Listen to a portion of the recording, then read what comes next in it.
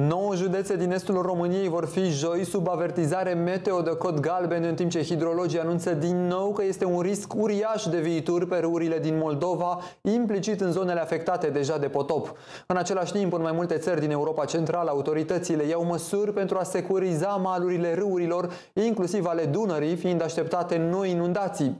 Primim însă mai multe detalii despre acest subiect de la doamna Elena Mateescu este director general al Administrației Naționale de Meteorologie. Bună seara, mulțumesc pentru intervenția dumneavoastră. Bună seara, mulțumesc și eu pentru invitație. Doamna Mateescu, ce ne așteaptă așadar în următoarele ore? Vedem aceste avertizări meteo de precipitații. De mâine dimineață de la ora 3 până mâine după amiază la ora 18 va fi în vigoare o atenționare meteorologică de cod galben.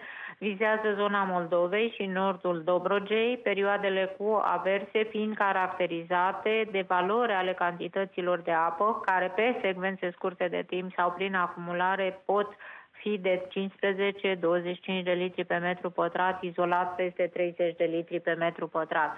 În același timp vorbim și de intensificări ale vântului, în special în zona montană, dar nu excludem ca rafale de vânt de 40-60 de km pe oră să fie de interes și în jumătatea estică a Munteniei, în Dobrogea, sudul Moldovei, și de asemenea în sudul Banatului. Din punct de vedere termic, cu mici variații de la o zi la alta, până la finalul acestei săptămâni contăm pe valori la scara întregii țări între uh, 16 până la 26 de grade Celsius, iar minime între 16 de asemenea până la 17 grade pe litoral și doar 0 până la 2 grade în depresiunile din uh, estul uh, Transilvaniei. De vineri, vremea se va ameliora sub aspectul precipitațiilor, valorile temperaturilor se vor apropia de mediile multianuale specifice datei din calendar, adică cele menționate deja 18-25 de grade, cu minime de 4 până la 16 grade și valori mai coborâte așa cum menționam, de 0 până la 2 grade în depresiune, acolo unde vor fi și condiții de brumă.